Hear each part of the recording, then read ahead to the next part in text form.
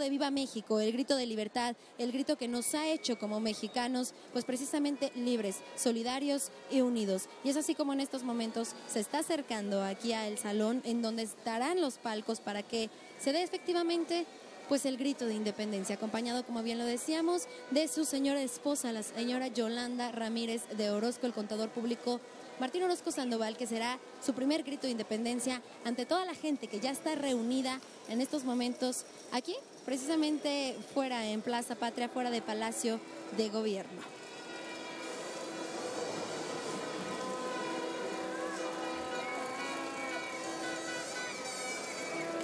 Que parte de su gabinete lo está esperando precisamente aquí dentro, donde lo van a recibir para juntos dar el grito de Viva México. Y en estos momentos podremos ver precisamente nuestra, nuestra gente bonita que ya está esperando la aparición del gobernador del estado en este balcón que tiene la bandera de nuestro escudo nacional representativo y podremos escuchar el protocolo para dar el grito de independencia.